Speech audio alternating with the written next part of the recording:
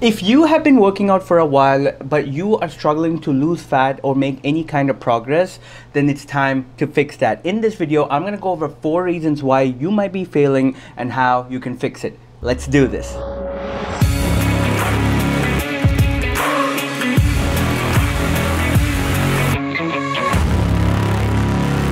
Hey, what is going on guys? Welcome back to the channel. If you are new to the gym or you have been going to the gym for a while uh, to lose fat, but unfortunately you're not seeing any progress, I know how frustrating that can be. Um, I have struggled with that for the longest period of time during my formative years. While you might be doing a lot of things right, like eating in a calorie deficit, eating healthy, uh, going to the gym three to five times a week, there's still a few more things you would actually have to fix to start seeing results. This is exactly what these two clients of mine who are studying, who are working in the US did to lose over 20 to 25 pounds uh, and look their absolute best. Same goes with these two. One works in the US, one works in India. They always found it hard to burn fat, but once they started making these simple changes, they lost over 22 pounds in a span of four months. So if you are ready to get this video underway, please go ahead, show some love by liking this video, subscribe to the channel if you are new around here, and let's get started with reason number one as to why you might be struggling to burn fat. Inconsistency with your diet. While most of us know that we need to be in a calorie deficit to lose weight,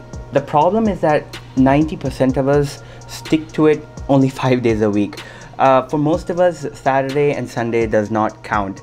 Um, we stick to our macros, we stick to our calories Monday through Friday, and for some reason, we feel that uh, it's okay to fall off a bit on the weekends. But guys, it is not. If you have set a goal for yourself that the next three to four months you are gonna lose some weight, burn some fat, you have to be a bit more disciplined. I'm not saying don't go out and have fun, I'm just saying be more conscious and smart about it.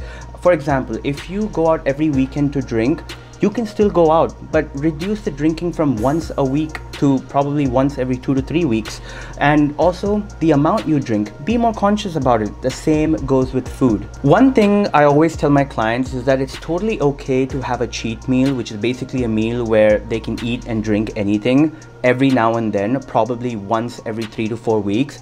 But you cannot go crazy two days in a week, every week, and expect results. Reason number two, insufficient strength training. A lot of people neglect strength training and solely focus on cardio, but if you are looking to burn fat and look and feel strong, you have to be lifting weights.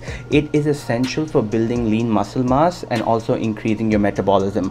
While you can and you should be doing cardio and getting your steps in, what's even more important is you should be lifting weights. I would recommend strength training the three to five times a week that you do go to the gym, and I also recommend doing that first as soon as you enter the gym before doing cardio. Just focus on compound exercises, focus on following a structure, and focus on lifting heavy in the 6 to 12 rep range. Reason number three, lack of sleep. I know we all have busy schedules. We work long hours, study long hours, watch Netflix all night, deal with kids, and also go out with friends, come home late in the night. But if you are serious about making progress, you have to find a way to get at least 7 to 8 hours of sleep. Inadequate sleep negatively affects hormones related to appetite and metabolism. For example, um, if you don't get enough sleep, your ghrelin levels, which is an appetite inducing hormone, goes up, leading to increased cravings and hunger levels. So what does that mean? It basically means that staying in a calorie deficit is going to be much more difficult. So try to get that 7 to 8 hours of sleep at the very least uh, so that you can optimize fat loss and also increase your leptin levels which is a satiety inducing hormone basically to control your hunger levels so that everything else balances out.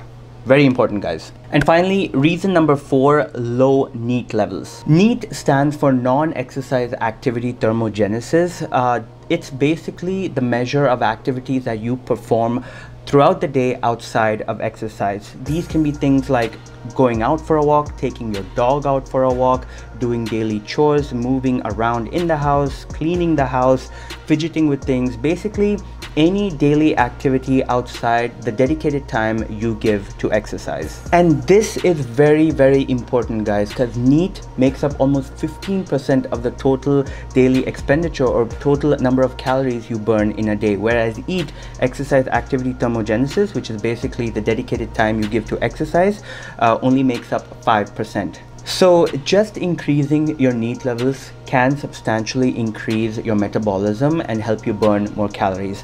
When I was working, uh, one of the things that I used to do, and I still do now, is that every hour or so, I get up from my desk and I walk around the house for about 10 minutes. I do this about five to six times uh, during the time I'm working and it just helps me burn so many calories and it helps me increase my NEAT.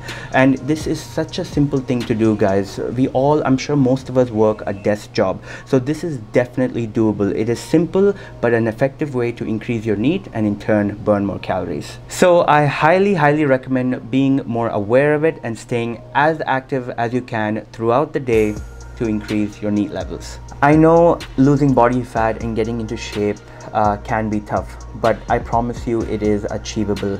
Um, so don't give up um, if you're not seeing uh, progress. Start implementing the things that I just went over and um, just most importantly trust the process because it takes time guys. A lot of patience is required.